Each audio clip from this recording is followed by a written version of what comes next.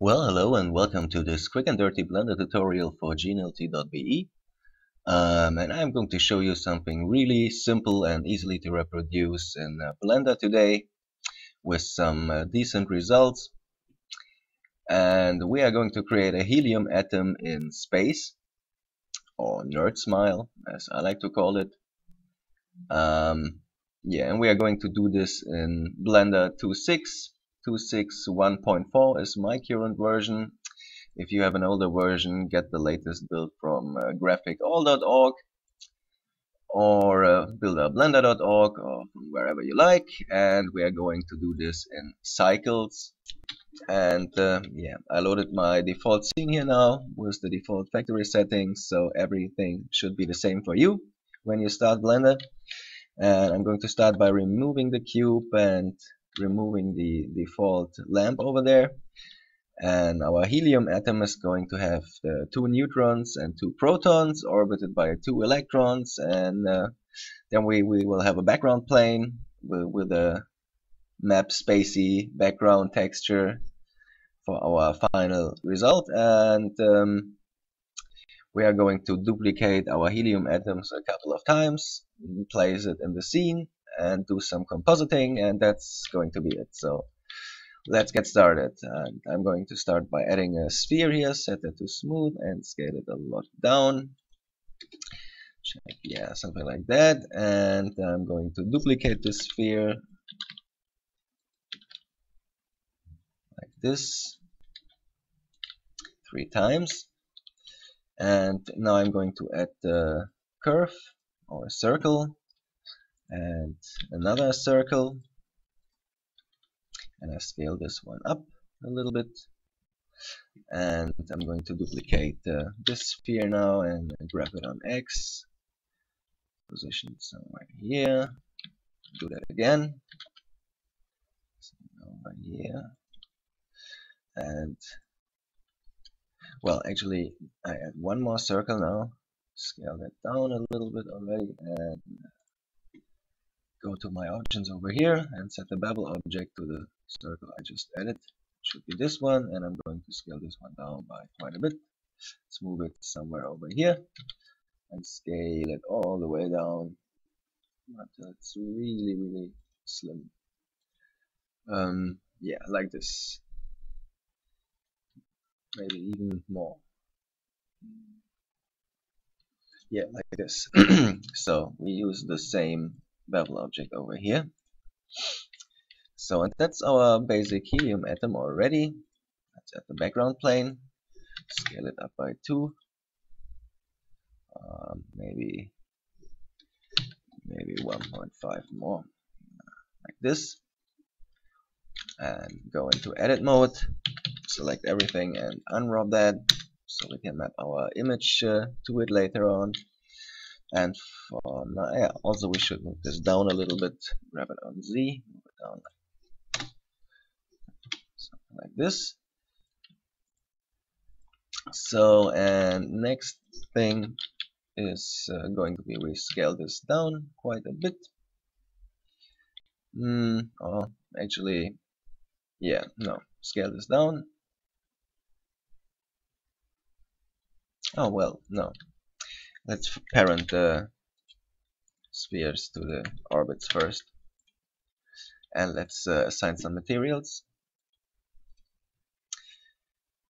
Oh, maybe change the render engine to cycles now.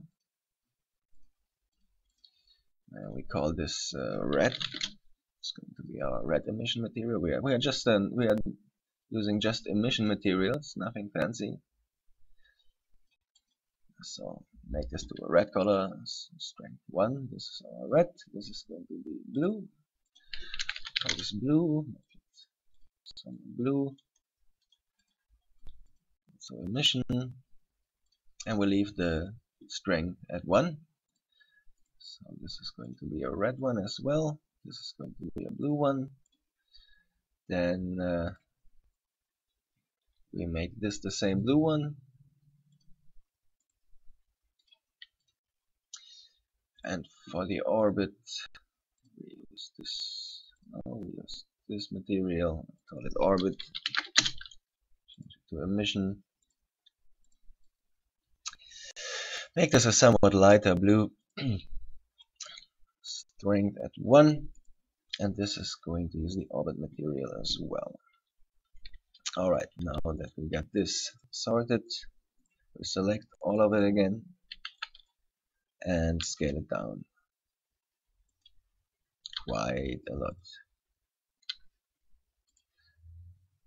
Then we duplicate everything a couple of times. We have enough space here. Alright, so we select the camera next, uh, clear rotation location on the camera, and uh, grab it on Z a little bit. So now, maybe we zoom back in a bit more. So now we have our basic scene set up and uh, what we do now is we rotate the orbits around on different axes to add a little bit of randomness to our scene.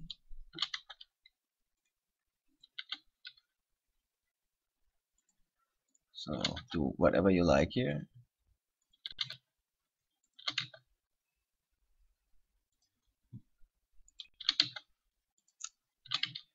Uh, rotate on X, rotate on Y, rotate on X, rotate on Y. Uh, rotate on X, rotate on Y, rotate on X. Something like this maybe. Yeah, so should change this to GPU. Let's see.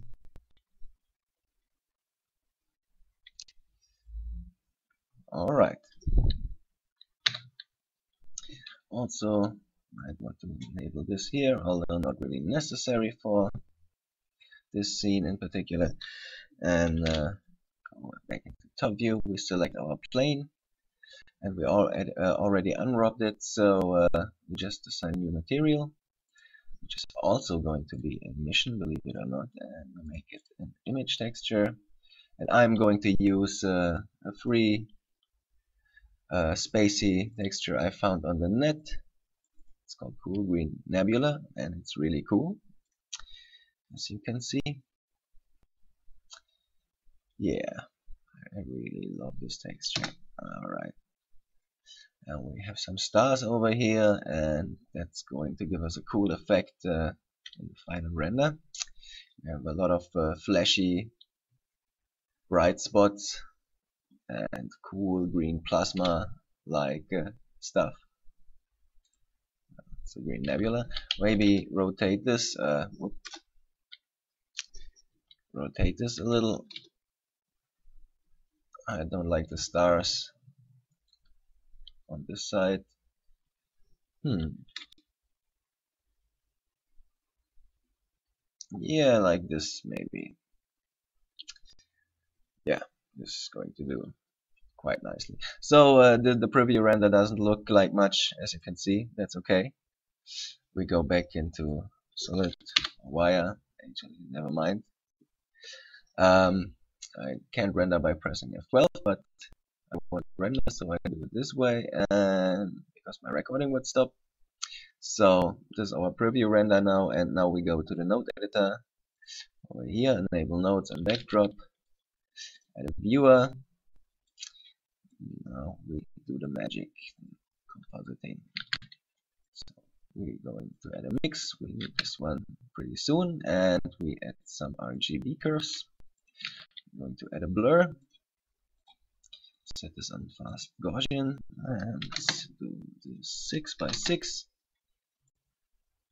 and this is the first effect we are going to create. Pretty much.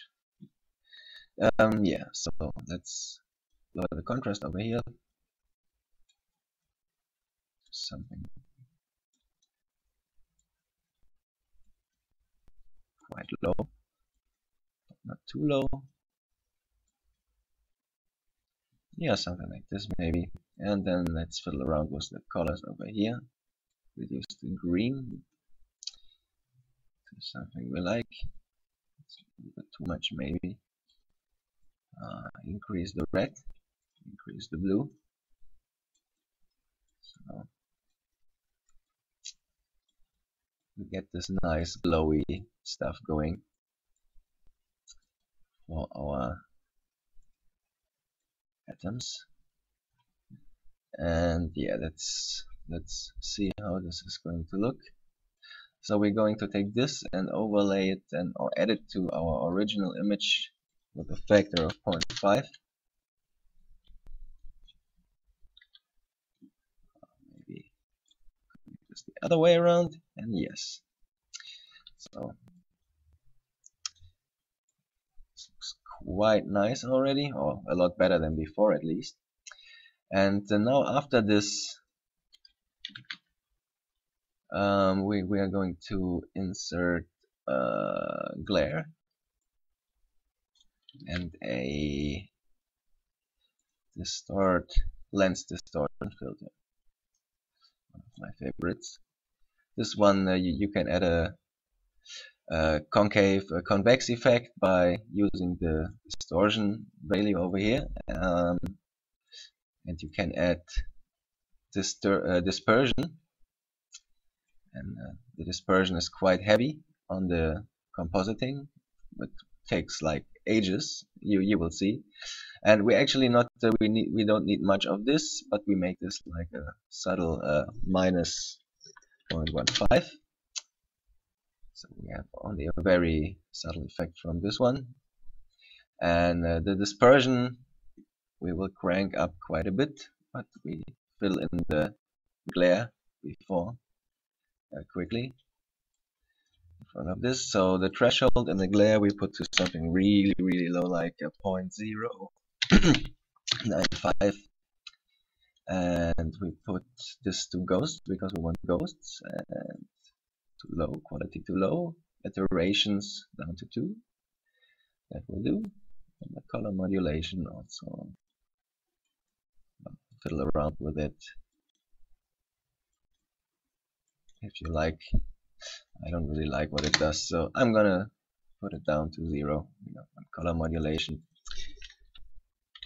and yeah doing a good job. So now the heavy dispersion effect and we're gonna crank this up quite a bit by uh, 0.55 and uh, we add one more RGB curve. Uh, RGB curves. End of this chain here and want to contrast quite a bit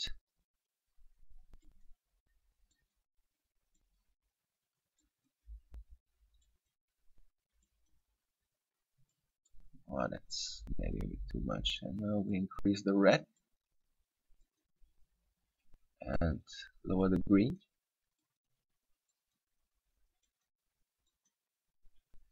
A little bit and the blue up quite a bit as well.